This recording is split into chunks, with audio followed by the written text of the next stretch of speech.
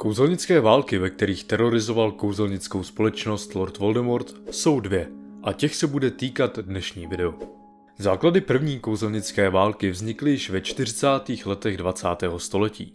Oficiálně však válka začala až v roce 1970 a skončila v roce 1981, kdy nejnebezpečnější černokněžník všech dob poprvé padl. Druhá kouzelnická válka se odehrála po návratu Lorda Voldemorta v roce 1995 a trvala až do jeho pádu v bitvě o Bradavice v roce 1998. Přesněji 2. května. Podrobněji se na kouzelnické války můžeme podívat v nějakém dalším videu.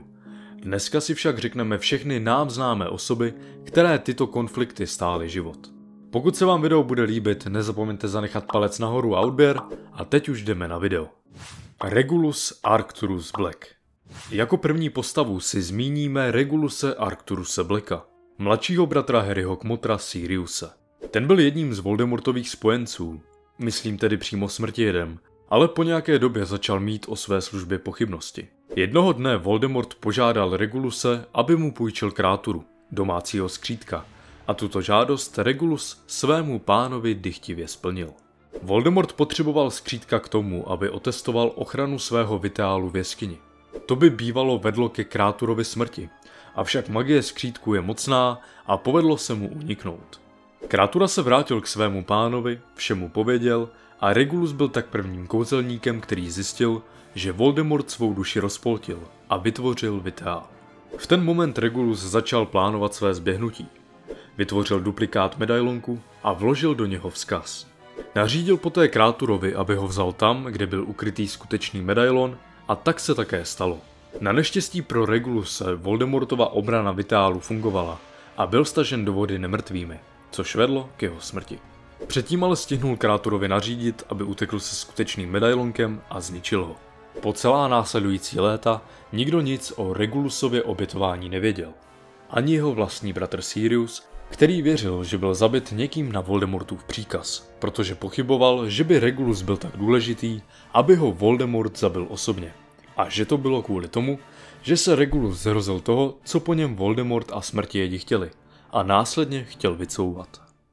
Otec Dina Tomase Dean Thomas byl ve skutečnosti smíšeného původu. Jeho matka byla mudla a jeho otec kouzelník. Když byl Dean malý, jeho otec ho a jeho mudlovskou maminku opustil aby je ochránil před smrtějedy. Nikdy ani své manželce neprozradil, že je kouzelníkem. Jeho čin se nakonec ukázal jako správný, protože o pár dní později si ho smrtějedi našli, on odmítl připojení do jejich řad a byl následně zavražděn. Nebýt tomu, že odešel, s největší pravděpodobností by zemřela i jeho manželka a malý syn. Bonesovi. Edgar Bones, manželka a děti, rodiče Amélie. Edgar Bones byl kouzelníkem, který se během první kouzelnické války připojil k Fénixově řádu. Organizaci založené Albusem Brumbálem proti Voldemortovi a jeho spojencům. Šlo údajně o skvělého čaroděje, kterého však smrtědi dostali i s jeho celou rodinou, tedy manželkou a dětmi. Stejný osud také měli i jeho rodiče, kteří byli zabiti Voldemortem. Marlene McKinnonová Marlene McKinnonová byla také členkou Fénixova řádu. Marlene i její celá rodina byla zavražděna smrtějedy a jedním z nich, podle tvrzení Igora Karkarova, byl smrtěd Travers. Rodinu McKinnonových Hagrid zmiňuje v první knížce, když Harry mu říká, že nikdo kromě něho nezůstal naživu, když se ho Voldemort rozhodl zabít. Také zde zmiňuje mimochodem Bonesovi, o kterých jsme si před chvílí řekli, a Prevetovi, ke kterým se za chvíli dostaneme. Dorka Sloučková Dorka Sloučková, další členka Fénixova řádu, byla také obětí jednoho z bojů, kdy ji o život připravil Lord Voldemort osobně. Benji Fenwick Pak zde máme dalšího člena zmíněné organizace, Benjiho Fenwicka, který nejenže byl zabit smrtějedy, ale doslova roztrhaný na kousky. Fabián a Gideon Prevetovi Fabián a Gideon Prevetovi byli sourozenci Molly Weasleyové, kteří se rozhodli stát proti Voldemortově hrůzovládě a připojili se do Fénixova řádu. Oba bratři zemřeli v boji jako hrdinové, když proti nim muselo být pět smrtědů, aby je dokázali zabít. Jedním z daných smrtědů byl Antonín Dolohov, který byl za jejich vraždu odsouzen do Azkaban. Podle Alastora Moodyho bratři bojovali jako hrdinové. Skřetí rodina někde u Nottinghamu. Během první kouzelnické války byla skřetí rodina někde u Nottinghamu z neznámých důvodů vyvražděna Voldemortem. O tomto incidentu se dozvídáme v páté knížce v rozhovoru mezi Billem, Remusem Lupinem a Arturem Weasleym. Jejich debata spočívala v řešení otázky, komu jsou loajální skřeti, načež tento incident Arthur Weasley uvedl jako možný důvod, proč by se skřeti k Voldemortovi v druhé kouzelnické válce nepřipojili. Robert McGonagall Jr. Robert McGonagall Jr. byl jeden z dvou bratrů Minervy McGonagallové, a to ten nejmladší. Robert byl smíšeného původu. Jeho otec byl mudla a matka čarodějka. Víme, že splodil nejméně jedno dítě a byl zavražděn smrtědy na vrcholu první kouzelnické války. Dougal McGregor a jeho rodina. Dougal McGregor byl mudla, se kterým byla krátce zasnoubená Minerva McGonagallová. Dougal jí požádal o ruku a Minerva dokonce souhlasila, ale později se rozhodla své rozhodnutí změnit, protože si myslela, že by to znamenalo konec její kariéry a vzpomněla si, jak to bylo těžké pro její matku, když ta si vzala mudlu. I když Dougal Minervě poslal několik dopisů ve snaze získat ji zpět, nebyl úspěšný a později se oženil s mudlovskou ženou, se kterou měl děti. Dougal a jeho rodina byli zavražděni při náhodném protimudlovském útoku smrtějedů v první kouzelnické válce.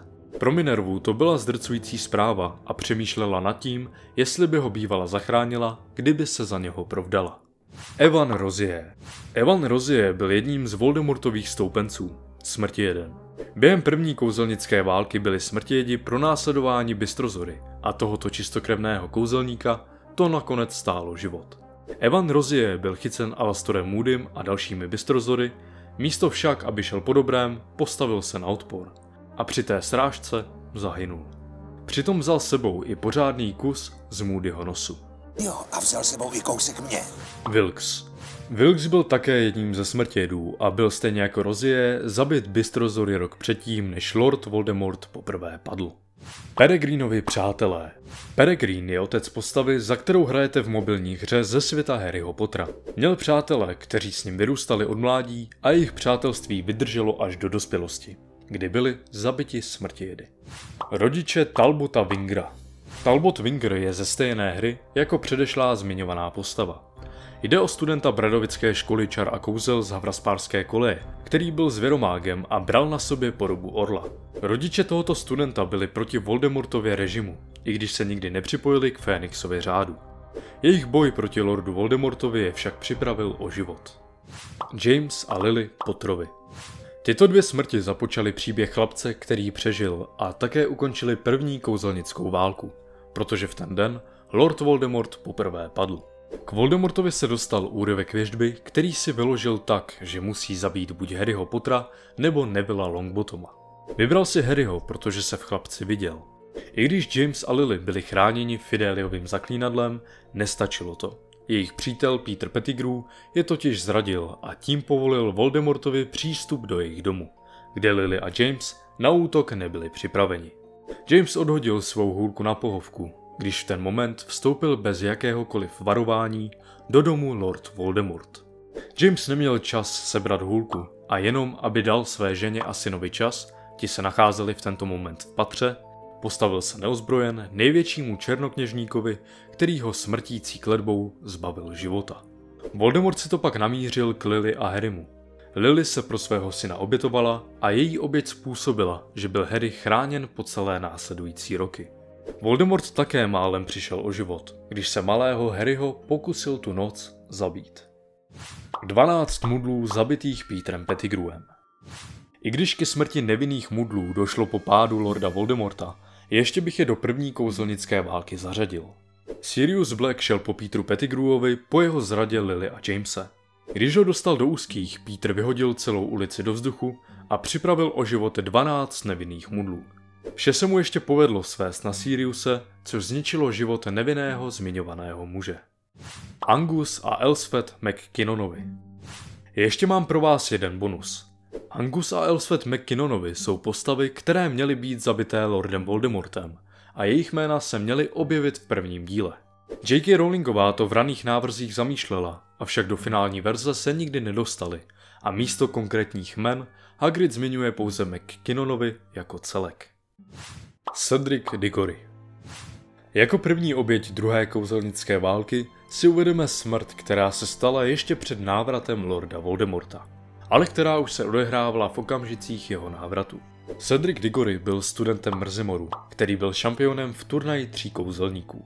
Cedric se nešťastnou náhodou připletl do Voldemortova plánu, když se společně s Harrym dotkl poháru, z kterého Barty Skirk junior udělal přenášedlo. Chlapce pohár přemístil na hřbitov v Malém Vysánku, kde Cedrika čekal nešťastný konec. Voldemort s ním neměl slitování a nařídil Červíčkovi, aby ho zabil. Červíček rozkaz poslechl a ještě ten večer Voldemort znovu povstal. Zbytečného! Broderick Bode Broderick Bode byl pracovníkem ministerstva kouzel na odboru záha. Jednoho dne se stal cílem smrti jedů, když Lord Voldemort toužil po věžbě, která se týkala jeho a Harryho Pottera.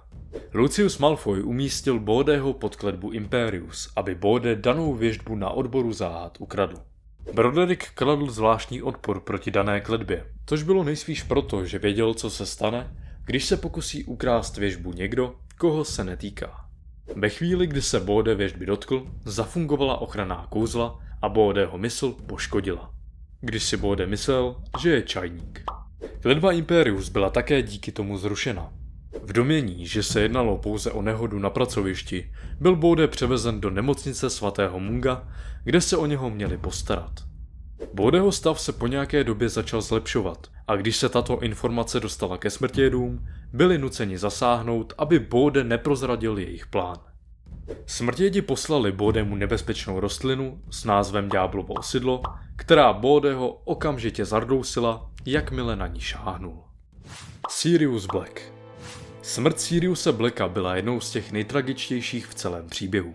Sirius Black, kmotr Harryho Pottera, se 18. června roku 1996 vydal společně s Fénixovým řádem na pomoc Harrymu a jeho kamarádům na ministerstvo kouzel proti smrtědům. V této bitvě došlo k souboji Siriuse a jeho sestřenice Bellatrix Lestrangeové.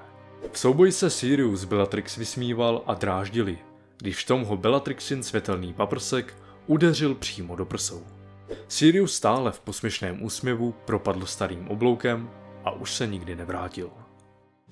Amélie Bouncová Amélie Bouncová byla ředitelka odboru pro uplatňování kouzelnických zákonů. Pamatovat si ji můžete z pátého dílu, kdy byla přítomna u Harryho disciplinárního řízení. Šlo o velice nadanou čarodějku, jednu z nejlepších své doby, která dávala najevo své protivoldemortovské názory. Voldemort si byl vědom, že jde o nebezpečného protivníka a rozhodl se jí odklidit z cesty. Neposlal za ní ani své smrtějedy, ale vzal její vraždu do svých rukou.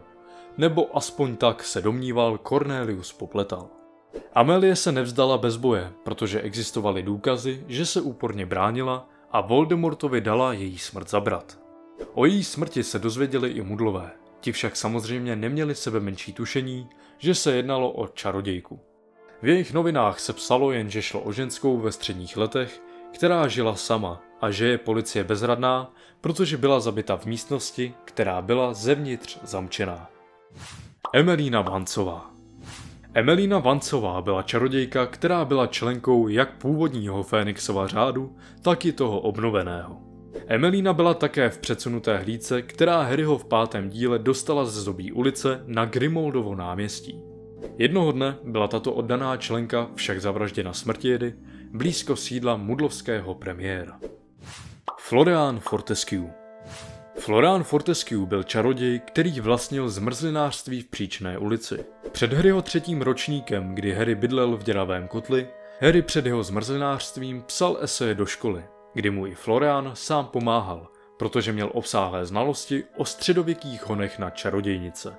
A Harry mu dával každou půl hodinu zdarma zmrzlinový pohár. Konec tohoto kouzelníka však šťastný nebyl. Šlo o milého muže, který si takový konec nezasloužil. Byl totiž unesen smrtědy kvůli jeho informacím o bezové hůlce a diadému Rouveny Zavraspáru a následně Voldemortem mučen a zavražděn.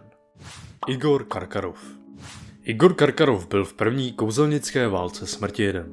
Po pádu Lorda Voldemorta však ministerstvu poskytl mnoho jmen těch kouzelníků, o kterých věděl, že byli loajální pánovi zla. Rozie. Evan Rozie. Ještě Rockwood. Byl to špěch. Co třeba Snape? Severus Snape. Barty Skrk. Junior. Tím, že poskytl ministerstvu cené informace, byl propuštěn z Azkabanu a následně se v neurčité době poté stal ředitelem Kruvalu. Voldemort se však vrátil a jelikož si byl Karkarov vědom své zrady, nezbývalo mu nic jiného, než se dát na útěk. Podařilo se mu zůstat naživu celý rok, ale nakonec byl dostižen v nějaké chatrči na severu a za svou zradu zavražděn. Jeho mrtvé tělo bylo později nalezeno a nad chatrčí vyselo znamení zla. Paní Ebotová Paní Ebotová, maminka Hanach Ebotové, byla během druhé kouzelnické války nalezena bez známek života ve svém domě. Byla s největší pravděpodobností zavražděna smrtějedy. Hanach byla v šestém ročníku odvolána z hodiny blinkářství a bylo jí sděleno, že její matka byla nalezena mrtvá a po zbytek roku už se do školy nevrátila. Neville Longbottom, který se stal později jejím manželem, tedy nikdy svou tchýni nepoznal. Malý Montgomery Bratříčka sester Montgomeryových, které navštěvovali školu čar a kouzel v Bradavicích, potkal hrůzný osud. Jeho maminka odmítla poskytnout pomoc smrtějedům a ti proto nařídili vlkodlakovi Fenriru Šedohřbetovi, aby na malého chlapce zautočil. Malému bylo teprve pět a musel být převezen do nemocnice svatého Munga, kde ho už však nedokázali zachránit. Octavius Pepřec Další obětí druhé kouzelnické války byl čaroděj jménem Octavius Pepřec. Ten byl unesen smrtědy a následně zavražděn. Gibbon Gibbon byl Voldemortovým smrtědem a zúčastnil se bitvy o astronomickou věž v Harryho šestém ročníku. Gibbon byl tím, kdo vypustil znamení zla nad Bradavicemi. Ale nezamlouvalo se mu, aby nahoře na věži čekal na Brumbála sám a toho nakonec stálo život. Po vypuštění znamení se běhl zpátky dolů, kde se odehrávala bitka a trefila ho vražená kledba, které jen o vlásek stačil uhnout Remus slupin. Vražená kledba byla vyslána tedy jiným smrtijedem, a to konkrétně Torfinem Raulem. Albus Brumbál Smrt Albuse Brumbála byla jednou z těch, které se každému vrily do paměti. Albus Brumbál byl zabit na konci Harryho 6. ročníku Severusem Snapem. A tato zrada, troufám si říci všechny, kteří viděli film nebo četli knížku poprvé, velmi překvapila. Ve skutečnosti šlo však o předem domluvenou vraždu mezi Brumbálem a Snapem. Albus Brumbál totiž rok předtím našel ve staré chatrči Gondův prsten, který byl jedním z Voldemortových vitálů a obsahoval kámen vzkříšení, jednu z relikví smrti. Brumbál podlehl pokušení a prsten si nasadil, aby znovu mohl vidět svou rodinu. Avšak v prstenu byla neobyčejně silná kledba, která se nedokázala vyléčit. Severus Snape pouze dokázal uzavřít v jedné ruce a dal Brumbálovi jeden rok života navíc, protože postupem času bylo jasné, že se kledba dřív nebo později dostane do celého těla. Brumbál vědom toho, že mu zbývá něco okolo roku života, řekl Snapeovi, že to on musí být ten, kdo ho připraví o život. Musíte mě zabít vy, Severuse. Je to jediná možnost. A to z dvou důvodů. Jedním z těch důvodů bylo to, aby to nemusel udělat Draco Malfoy, kterého tímto úkolem pověřil Voldemort. A druhým, aby Voldemort Snapeovi naprosto důvěřoval. Zatímco Snape byl ve skutečnosti loajální straně opačné. Brumbálova smrt zasáhla všechny a jeho pohřbu se zúčastnilo mnoho kouzelníků a čarodějek a také kouzelných tvorů. Čerita Barbidžová Čerita Barbidžová byla profesorkou studia mudlů v Bradavicích. Za její promudlovské názory podle Voldemorta za špinění mysli mladých čarodějů a za článek, který napsala do denního věžce, ve kterým obhajovala práva mudlovských šmejdů, byla unesena Voldemortem a jeho smrtějedy. Při schůdce smrtějedů byla spoutána neviditelnými provazy a přinucena, aby se vznášela nad stolem. Severus Snape byl nucen tuto událost pouze sledovat Kolegyně ze školy ho prosila o pomoc, což bylo pobavení pro ostatní smrtědy. Snape však jako tajný agent nemohl riskovat, že se prozradí a pomoct jí nemohl. Čerita Barbidžová byla nakonec zabita Lordem Voldemortem, který její mrtvolou nakrmil svého hada. Hedvika Jedna z nejhrůznějších smrtí, a troufám si říci ta, která většinu fanoušků zasáhla, byla smrt Harryho sovy Hedviky, která byla po Hagridovi druhým přítelem Harryho v kouzelnickém světě a která byla Harryho věrnou společností po celá léta a jak on sám tvrdil jeho jediným velkým spojovacím článkem s kouzelnickým světem pokaždé, když byl nucen vrátit se k Dursleyovým. Její smrt se v knížce od filmu liší. Ve filmu byla před bitvou sedmi potrů vypuštěna, aby mohla sama létat. V knížce je však Hedvika zavřená ve své kleci a tu má Harry mezi nohama v postraním vozíku Hagridova motocyklu.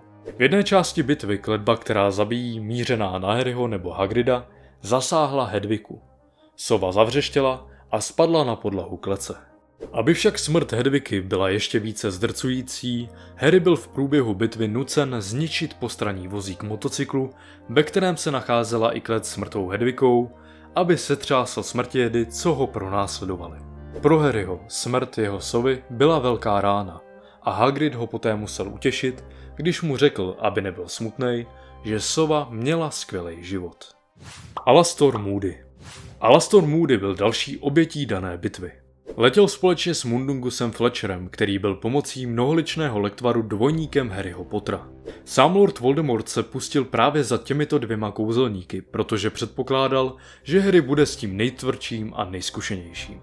Mundungus při pohledu na Lorda Voldemorta spanikařil, přemístil se a vražedná kletba zasáhla Pošuka přímo do obličeje. Pošukovo tělo bylo nalezeno smrtědy a jeho čarodějné oko bylo vsazeno do dveří kanceláře Dolores Umbridgeové. To z dveří nakonec Harry ukradl dne, kdy na ministerstvo kouzel vyrazila trojice v přestrojení. Harry oko nakonec pohřbil v lese u stromu a Moody tak měl aspoň provizorní pohřeb. Rufus Brousek Harry a Rufus Brousek měli na nějaké věci jiný názor a neměli se ve velké oblibě. I přesto, když ministerstvo kouzel bylo přepadeno smrtědy, Brousek předvedl obrovskou statečnost a hrdinství. Než byl totiž zabit, pokoušeli se ho mučením přinutit, aby jim řekl, kde najdou Harryho Pottera. I když to Brousek věděl, Harry ho do svého posledního okamžiku neprozradil. Za to si u Harryho zasloužil uznání a oficiální verze jeho vraždy zněla, že na svou funkci Brousek rezignoval sám a odešel. Brousek nicméně byl nahrazen Piusem Břichnáčem, který byl pod kletbou Imperius a sloužil Voldemortovi jako loutka, skrz kterou Voldemort ovládal ministerstvo. Německá rodina Další obětí druhé kouzelnické války byla německá rodina, která žila v bývalém domě výrobce hůlek Gregoroviče. Ten Voldemort navštívil, aby zmiňovaného našel. Místo toho však v domě žila žena, která Voldemortovi řekla, že žádného Gregoroviče nezná a že už tam nebydlí. Voldemort ji a její dvě děti poté připravil o život.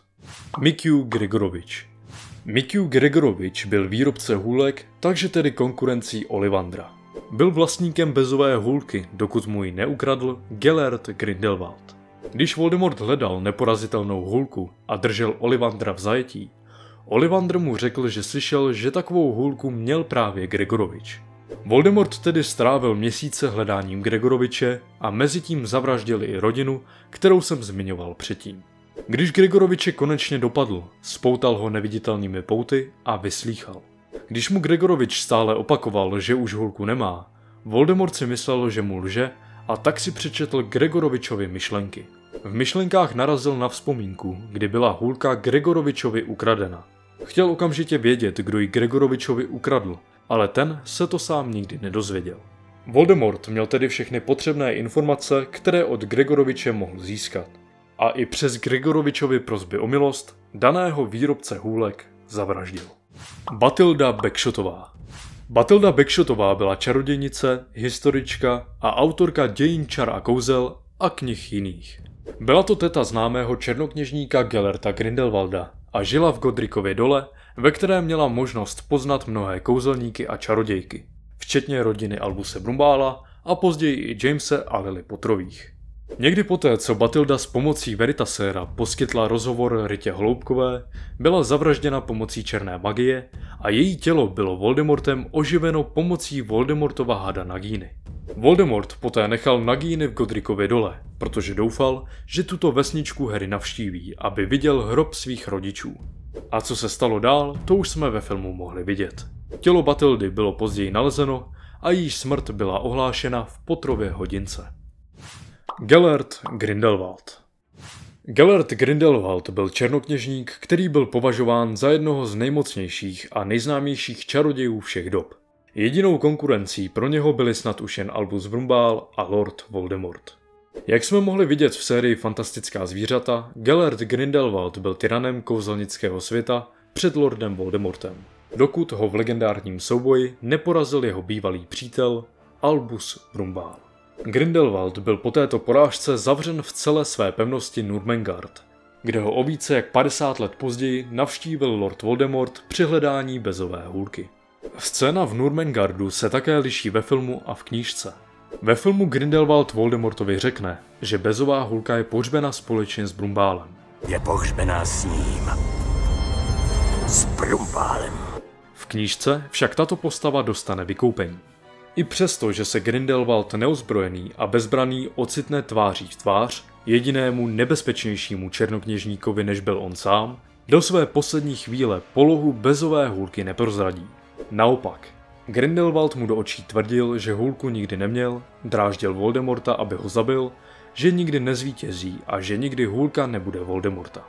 Zuřivost ve Voldemortovi byla velká a smrtící kletbou zavraždil Gellerta Grindelwalda.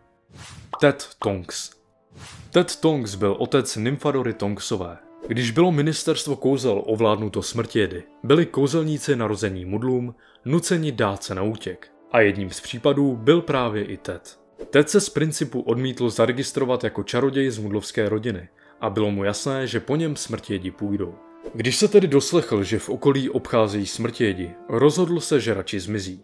Manželku nechal doma, protože Andromeda pocházela z rodiny čistokrevné. Na útěku se Ted setkal s dalšími uprchlíky. S Deanem Thomasem, Dirkem Creswellem a skřety Gribhookem a Gornukem. Tato skupina se spojila a byla na útěku spolu. Nakonec však byla chycena lapky, vedenými Fenrirem Šedohřbetem a Ted byl zavražděn. Dirk Creswell Dirk Creswell byl vedoucím oddělení prostik se skřety na ministerstvu kouzel. Byl také kouzelníkem, který se narodil mudlům, takže aby se vyhnul uvěznění, předložil falešný rodokmen. Albert Rankorn ho však vypátral a nahlásil, a Dirka tak měl čekat Askaban. V půlce cesty do Askabanu se ale Dirkovi podařilo utéct. Omráčil Doliše, který byl pod vlivem matoucího kouzla a sebral mu koště. Jak jsem zmiňoval, Dirk se setkal s ostatními na útěku a nakonec stejně jako Ted Tonks přišel o život při dopadení lapky. Gornuk Posledním ze skupiny, který přišel o život při dopadení lapky, je Gornuk. Gornuk byl skřet, který pracoval pro Gringotovu banku a poté, co ministerstvo kouzel převzal Voldemort a Voldemortovi příznivci se začali vměšovat do banky, utekl a začal se schovávat. Důvodem bylo to, že nesnesl, aby žil život jako domácí skřítek a nechtěl uznávat příkazy žádného kouzelníka kvůli své důstojnosti. A jak už jsem tedy zmiňoval, Gornuk přišel na útěku o život. Pětičlená mudlovská rodina Pětičlená mudlovská rodina byla zavražděna smrtědy. Nejspíš jen tak pro zábavu, nebo jak uvedl Lee Jordan, šlo v novém režimu o rekreační sport. Nicméně tato rodina byla nalezená mrtvá v Gedli. Mudlové tuto smrt připisovali k úniku plynu, ale skutečnou příčinou jejich smrti byla vražedná kledba. Peter Pettigrew Konec Petra Pettigrewa je v knížce jiný než ve filmu.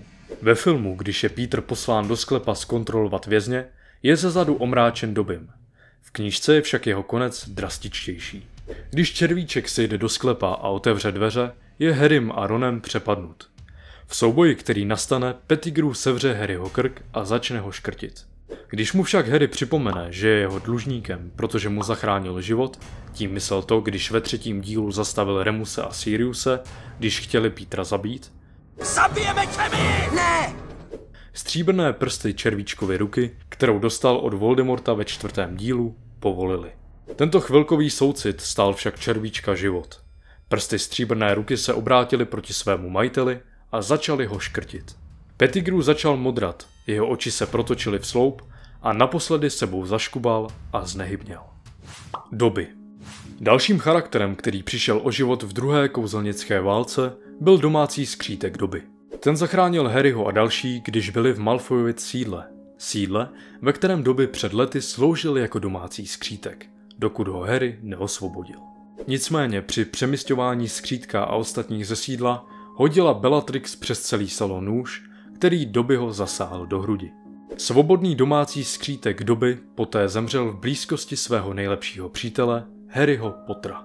Doby je šťastný, že je se svým přítelem Harry Potterem.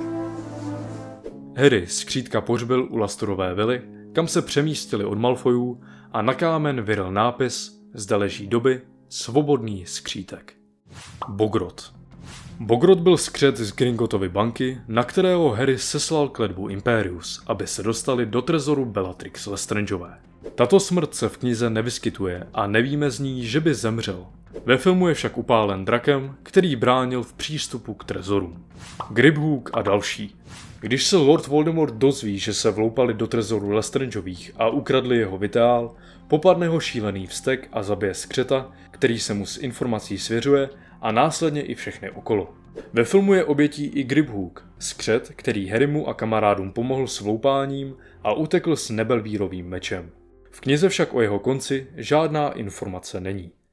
Vincent Kreb u této postavy dám přednost jako obvykle knížce před filmem. Herec, který hrával Vincenta Kreba v Harry Potterovi, měl problémy se zákonem a nemohl se posledního dílu zúčastnit. Byla to právě jeho postava, která měla podle knížky zemřít v komnatě nejvyšší potřeby na zložár, který sama způsobila. Ve filmu to však museli změnit a v komnatě zemřel Gregory Goyle. Fred Weasley Teď přichází určitě jedna z těch nejtragičtějších, ne nejtragičtější smrt z celé ságy. V bitvě o Bradavice Harry, Ron a Hermiona narazili v jednom okamžiku na Freda a Percyho, kteří bok po boku bojovali se smrtědy. Percy bojoval s ministrem kouzel Piusem Břichnáčem a při souboji pronesl vtip, že dává výpověď. To byla poslední slova, které Fred před svou smrtí slyšel. Ty jsi řekl opravdový vtip, Percy, Myslím, že jsem o tebe žádný vtip neslyšel od té doby, co... Fred nestihl větu doříct a prostor kolem nich vybouchl. Percy třásl s bratrovým mrtvým tělem. Fredovi nevidomé oči hleděly vzhůru a rty měl dosud skřivené posledním úsměvem. Remus Lupin Tonksová byla v bitvě informována Aberfortem Brumbálem, že byl Remus naposledy viděn v souboji s Antoninem Dolohovem. Právě tento souboj stál Remuse život, protože nebyl ve správné bojové kondici, protože několik předešlých měsíců strávil ochranou svého syna a Nymfadory. Dolohov měl tedy nad Remusem navrh a poslední z pobertů padl. Jeho smrt byla pomstěna Filiusem Kratiknotem, který Dolohova porazil. Nevíme však, jestli zabil.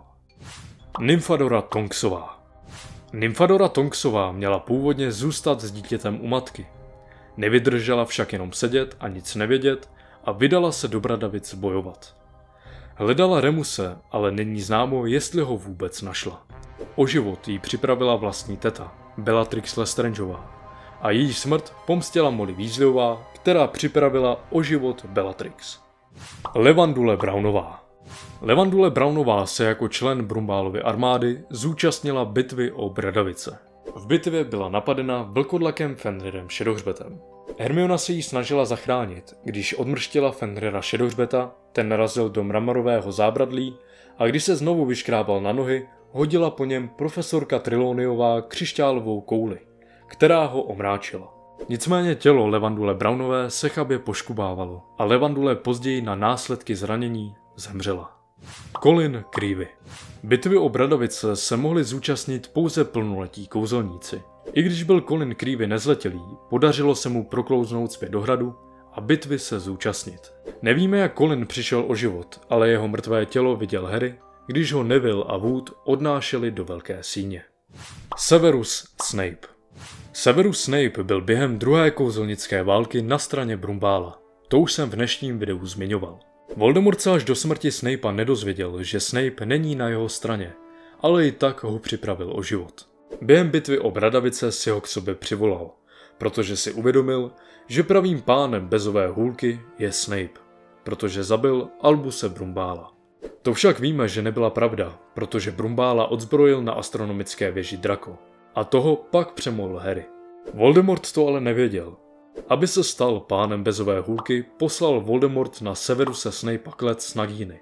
a než Snape stačil udělat cokoliv jiného než vykřiknout, vězel v ní hlavou i rameny. Voldemort poté nařídil, aby had Snape'a zabil. Snape zbělal a hadí zuby mu prokously hrdlo. Když Voldemort opustil místnost, Harry okamžitě za Snapem vyrazil. Ze Snapeových úst, očí a uší tryskala stříbřitě modrá vlákna, kterými Snape předal Harrymu své vzpomínky, které Harry potřeboval vědět. Máš matčené oči. Nagíny. Jednou z dalších a jednou už z posledních obětí bitvy byl také Voldemortův had Nagíny. Moment jeho, nebo jak víme z fantastických zvířat její smrti, se ve filmu a v knize liší. Ve filmu je had zabit Nevillem při závěrečném souboji Harryho a Voldemorta. V knize je had zavražděn Nevillem, když Neville vystoupí proti Voldemortovi a vytáhne z moudrého klobouku Nebelvírův meč. Jakmile meč Neville vytáhl, jediným mocným úderem usekl velkému hadovi hlavu. Ta vylétla vysoko do vzduchu a hadí tělo Voldemortově zdutým úderem dopadlo k nohám. Poslední Voldemortův videál byl zničen. Bellatrix Lestrangeová Bellatrix Lestrangeová, nejloajálnější z Voldemortových smrtědů, byla poslední, která ke konci po Voldemortově boku bojovala. Když jedna z jejich vražedných kleteb minula Ginny o pouhé centimetry, vyzvala ji k souboji Molly Weasleyová. Mollyny dovednosti přinutili Bellatrix její pohrdavý úsměv proměnit v nenávistný šklep. Při souboji na život a na smrt z obou hůlek čarodějk šlehaly barevné paprsky a podlaha pod nimi se rozžavila a popraskala. Bellatrix zmínila i Fredovu smrt, což byla její poslední slova. Mollyna kledba prolétla pod Bellatrixinou nataženou paží a plnou silou ji trefila do prsou přímo nad srdcem. Bellatrix Lestrangeová zemřela. Tom Royval radl. A nakonec zde máme Lorda Voldemorta. Ten padl v souboji s Harrym, který se podle knížek odehrával ve Velké síni a před zraky všech ostatních. Zemřel, protože nebyl pravým pánem bezové hůlky. Tím totiž byl, jak už jsem zmiňoval, jeho protivník, tedy Harry. Bezová hůlka odmítla zabít svého pána a letěla k Harrymu, který se o ní konečně přihlásil. Voldemort padl na znak s roztaženýma rukama a štěrbinkovité zorničky rudých očí se protočily vzhůru. Zabila ho jeho vlastní odražená kledba. Na rozdíl od filmu se Voldemort nerozpadl, ale jeho tělo padlo jako každého jiného obyčejného smrtelníka. Ještě dodám, že v bitvě o Bradavice padlo dalších 50 lidí a o život přišlo dalších 20 až 40 smrtědů za druhou kouzelnickou válku. Ve filmech dokonce došlo k úmrtím, která se v knize nestala. Jak jsem zmiňoval, tak Bogrot, Gribhook, ale také Prašivec a jiní lapkové, kteří zemřeli na pád z mostu, který se zhroutil. Pius Břichnáč je zavražděn Voldemortem poté, co ho osloví po zničení Vitálu a také by se mohlo zdát, že Fenrir Šedohřbet, který byl zasažen Hermionou a poslán do Rokle.